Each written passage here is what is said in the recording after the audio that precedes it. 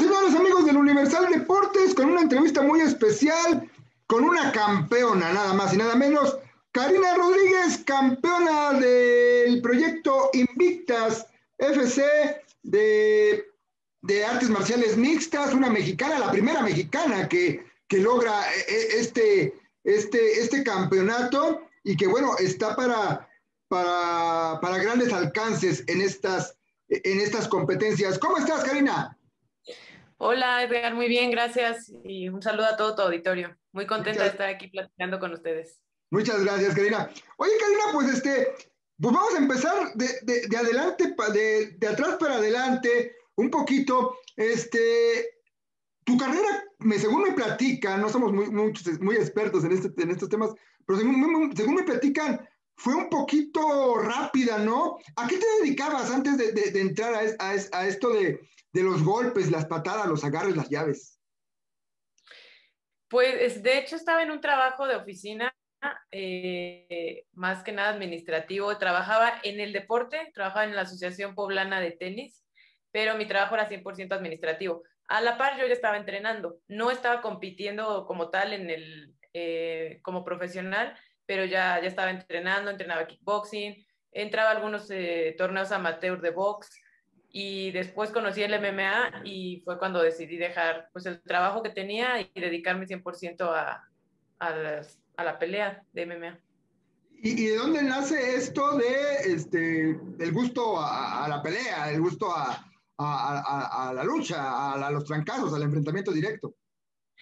Pues realmente nace ya tarde, no creas que desde chiquita me llamaba la atención en, o practiqué algún deporte de contacto como taekwondo o algo así, no. Yo practicaba siempre deporte, pero era más natación o a veces un poquito de gimnasia, jugué básquetbol, o sea, siempre hice deporte. Me acuerdo que me gustaba mucho ver películas de peleas, ver películas de acción como Rocky, como las películas de Van Damme, o sea, me gustaba verlas. Y después en un gimnasio, eh, un profesor fue a dar una exhibición de kickboxing y le dije que me gustó y que si podía empezar a entrenar. Eso fue como a los 18, 19 años.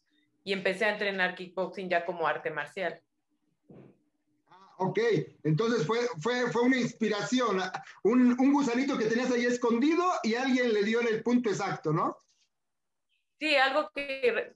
Uh, Uh, se podría decir que casi casi no sabía que tenía eso. Eh, lo vi como algo como algo cercano, vi otras mujeres practicándolo y, y me gustó y dije, pues, cuando, lo, eh, de hecho no pensaba, o sea, me gustó de, de, primera instancia, pero no pensaba dedicarme a eso.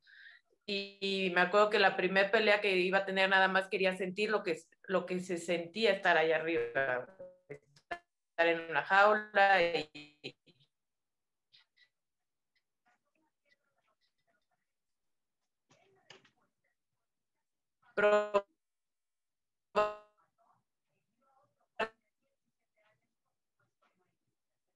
más y de ahí pues ya no paré hasta que dije creo que eh, pues ya me dedico a esto tuvimos un poquito un poquito de problemas este que la conexión Karina este nos decías que que no, no, no pensabas dedicarte a esto hasta que te sentiste el primer combate, querías, querías sentirlo, querías saber de qué se trataba, ¿no? Estar dentro de una jaula.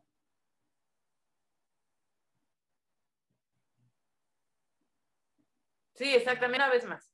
Y cada vez tenía retos mayores y decía, bueno, solo esto porque quiero ver qué siente pelear en el extranjero, por ejemplo, después de pelear en México. Y luego, bueno, quiero ver qué siente pelear ahora en Estados Unidos. Y quiero ver, hasta que dije, no, ya me dedico a esto profesional y ya lo tomé lo tomé totalmente en serio.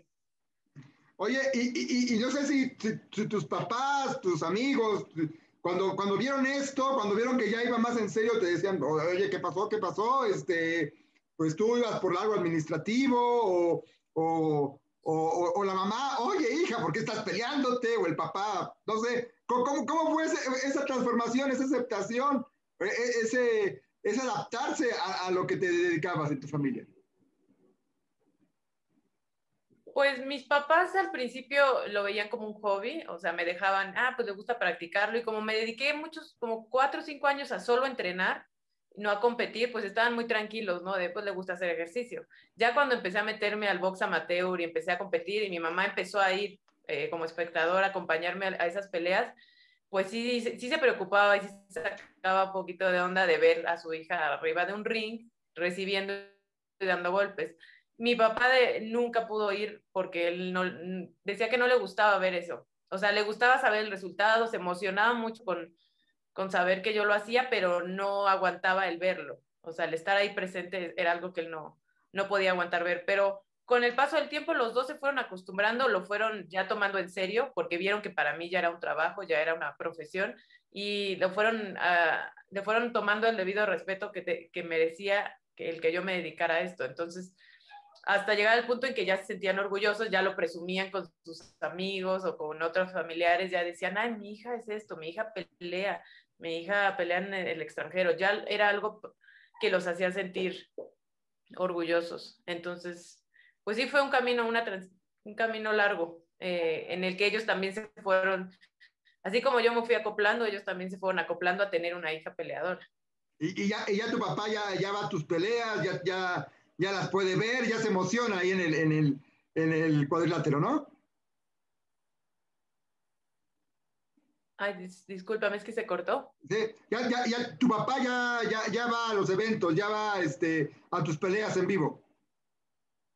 No, de hecho no. Eh, ya a partir del 2017, todas mis peleas han sido en Estados Unidos. Entonces ya no, ya no ha habido como oportunidad de que fueran. Y mi papá no la, ni siquiera las ve en vivo. Él le gusta verlas ya que pasaron, ya que sabe el resultado y que sabe que estoy bien ya puede ver las peleas. Mi mamá sí las ve en vivo, pero por transmisiones y así. Eh, porque te digo, ya, ya peleo todas eh, fuera, fuera de México.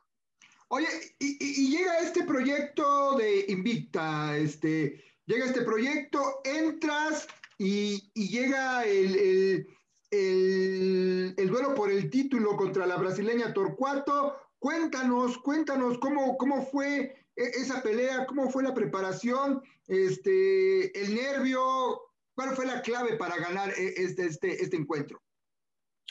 Pues sí hubo, sí había algo de nervio porque ya yo ya tenía año y medio sin pelear por cuestiones de la pandemia, tuve que, que yo entrenaba en Guadalajara, me tuve que venir a entrenar a Puebla y pues hubo algunos cambios en mi, en mi entrenamiento, pero creo que todos fueron para bien. Eh, estuve entrenando muy bien aquí en Puebla. Mi, mi, entrenador de Guadalajara vino unos días, unas semanas aquí a ayudarme también.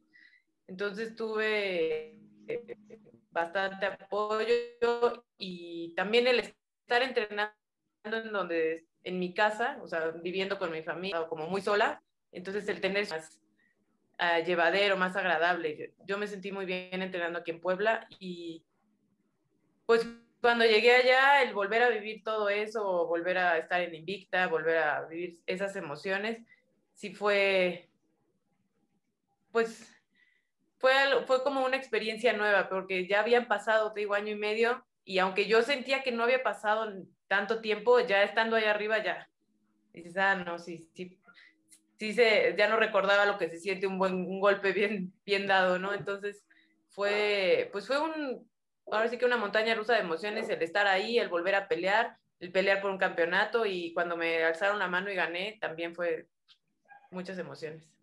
Eh, eh, la, pelea fue complicada, la pelea fue dura, este, ¿qué fue lo que más te dificultó?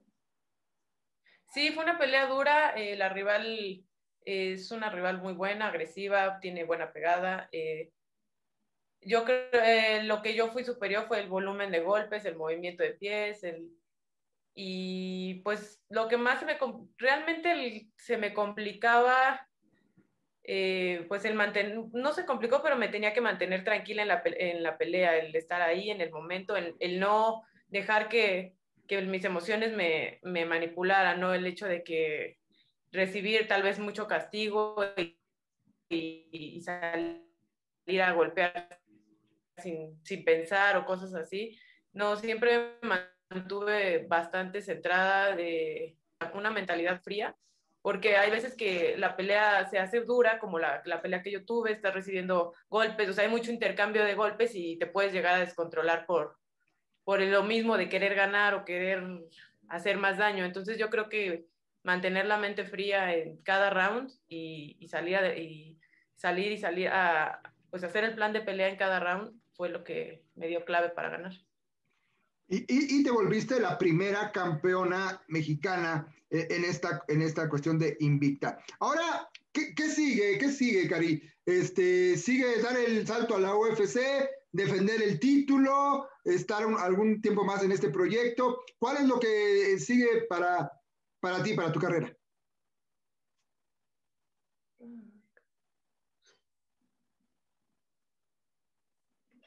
¿Será el mío o el tuyo?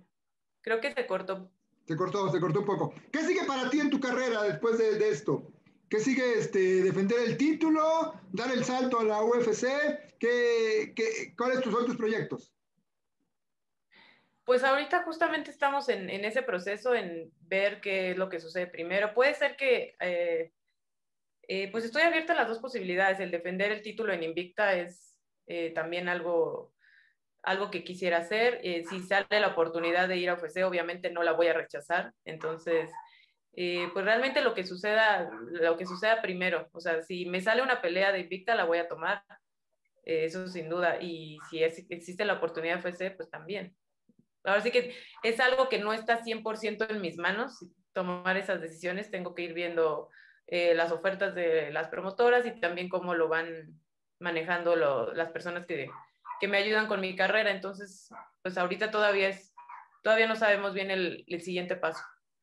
Ok, y, y, finalmente, Cari, ¿cuánto tiempo o, o, cuánto puede durar una carrera de un peleador, de una peleadora, hombre o mujer? Y, después de esto, ¿qué sigue para ti como profesional? ¿Cuál, ¿Cuáles son tus proyectos acabando tu, carrera como, peleadora? No sé, 5, 10 años, no lo sé. ¿Qué sigue? ¿Qué sigue para, alguien que, se dedica a esto? Eh, en lo personal, eh, creo que no hay límite, no podemos decir de tal a tal edad se termina la carrera de un peleador. Creo que yo del, pues del, del disfrute que tenga haciendo lo que hace, del tipo de lesiones que tenga que le permitan seguir entrenando, entonces, eso, eh, la vida del peleador ya es eh, muy personal, cuando él decides cuándo retirarte. en cuanto a mí, yo estoy ahorita estudiando ciencias del deporte en, en, cualquier cosa que tenga que ver con, el área deportiva, eh, tanto en instituciones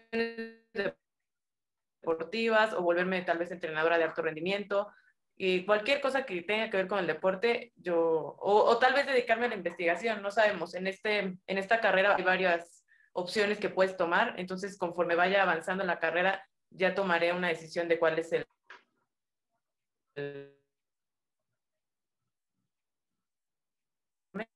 ver con el deporte es un hecho. Perfecto. Pues ahí está Kay Rodríguez, una joven mexicana, triunfadora a nivel internacional, una peleadora de la vida, de los cuadriláteros, del, de la jaula, como se dice en la UFC y en, en estos combates. Y bueno, nos da mucho gusto, mucho gusto tener y hablar con gente así. Muchas gracias, Cari. Muchas gracias a ustedes y un saludo para todos.